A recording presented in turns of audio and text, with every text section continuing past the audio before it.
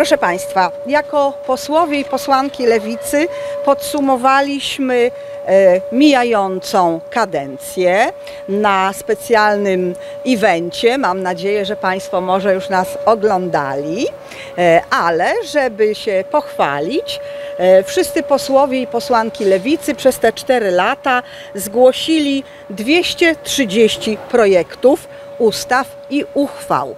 Niestety większość pani marszałek Witek włożyła do zamrażarki, między innymi moją ustawę o DPS-ach, a tych DPS-ów w naszym regionie mamy dużo.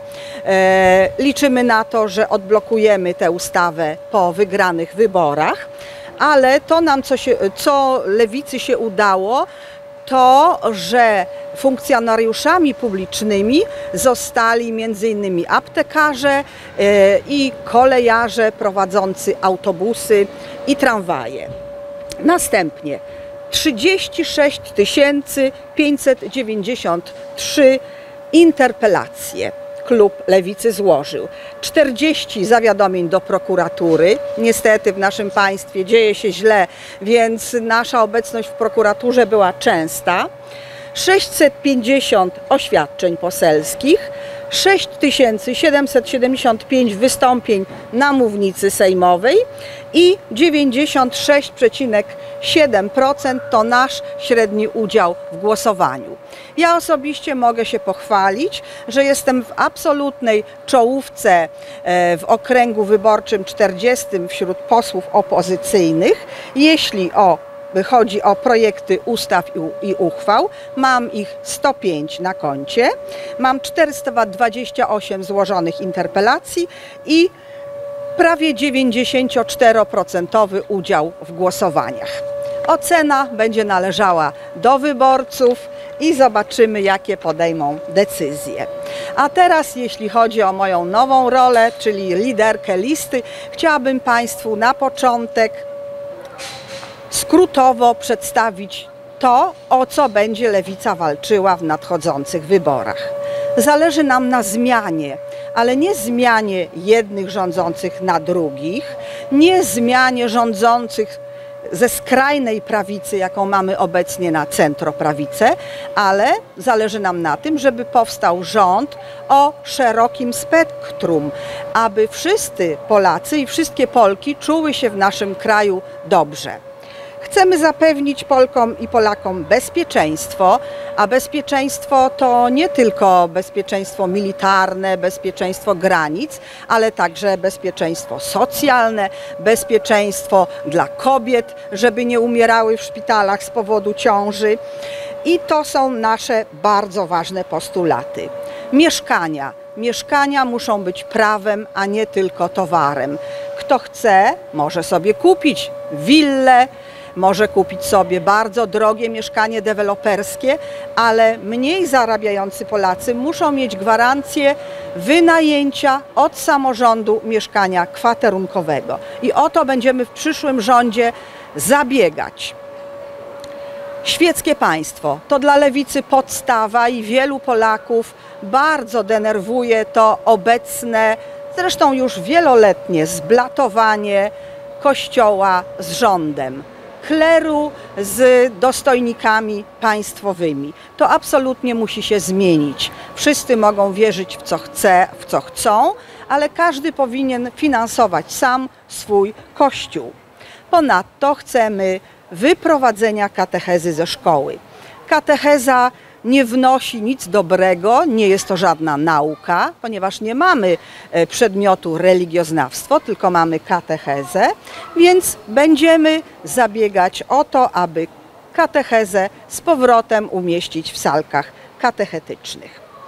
Bardzo ważni są dla nas seniorzy, czyli renta wdowia, projekt obywatelski, który niestety też został Procedowanie zostało rozpoczęte, ale nie zakończone w tej kadencji, jest w zamrażarce i chcemy, aby ta ustawa zaraz y, po y, rozpoczęciu pracy nowego parlamentu weszła w życie, aby seniorzy mogli otrzymać rentę wdowią, a doda dodatkowo leki za 5 zł.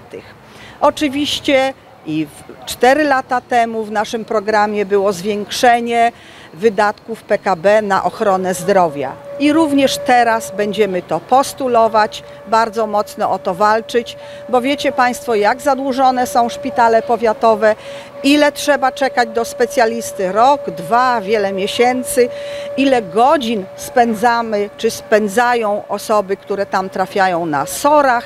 To jest absolutny skandal, żeby na sorze bez jedzenia, często bez picia, chory czekał kilkanaście godzin e, na przyjęcie do lekarza. To się musi zmienić. Zmieniają się ministrowie, e, często pod e, presją, tak jak ostatnio ministrowie zdrowia, e, ale tutaj się nic nie poprawia. Usługi publiczne i wynagradzanie nauczycieli, pielęgniarek. Absolutnie nie akceptujemy szkoły ministra Czarnka. Jesteśmy przeciwni temu, co umieszczane jest w takich podręcznikach jak HIT, ale też nauczyciele muszą być odpowiednio wynagradzani. To jest chyba postulat całej opozycji, który lewica się też wpisuje. Natychmiastowa podwyżka dla nauczycieli 20%. A więc usługi publiczne na wysokim poziomie. Jeśli chodzi o kobiety, prawo do przerywania ciąży. Polki w swoim kraju muszą mieć prawo do przerywania ciąży, tak jak w innych krajach europejskich, do 24 tygodnia na żądanie. A z kolei lekarze nie mogą się bać prokuratora, nie mogą się bać ratować e, życie e, kobiet z zagrożoną ciążą, albo, co jest absolutnym skandalem, w publicznych przychodniach czy szpitalach zasłaniać się klauzulą sumienia. Lewica wyprowadzi klauzulę sumienia. Jeśli ktoś chce zasłaniać się klauzulą sumienia w swoim prywatnym gabinecie.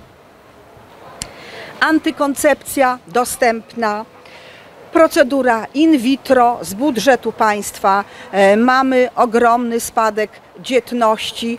E, to jest choroba cywilizacyjna, a ludzie chcą mieć dzieci i państwo powinno im w tym pomagać. Pomagać e, wiedzą, wiedzą medyczną z najwyższej półki i procedurami medycznymi, a nie w jakikolwiek inny sposób.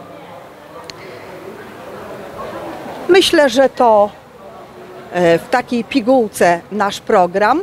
Będę Państwa zapraszać e, w tej kampanii na kolejne konferencje prasowe i to chyba częściej niż zwykle. A jest ze mną przedstawiciel naszej młodzieżówki, e, bo Lewica stawia też na młodych ludzi. Nie tylko dlatego, że wiemy, że w bardzo dużym procencie młodzi chcą właśnie głosować na Lewicę, bo chcą Polski otwartej, przyjaznej. E, Dominik również bierze udział w marszach równości. Może Dominiku parę słów właśnie o wolności osobistej młodych ludzi i jakie macie potrzeby? E, My jako młodzi będziemy starać się, e, żeby wywalczyć nasze prawa, które aktualnie nie są w żaden sposób e, egzekwowane. Chcemy pokazać, że też jesteśmy, będziemy i nic z tego nie, nie zmieni, że nikt nas nie stłamsi. Między innymi dlatego młodzież stawia i uczestniczy w tych marszach równości, więc chcemy pokazać, że żadne państwo, które jest w tym momencie prowadzone, jak jest prowadzone, nie może stłamsić w taki sposób jak teraz. Wolności wolności osobistej. osobistej oczywiście. Y, Jesteśmy, będziemy i walczymy o swoje prawa.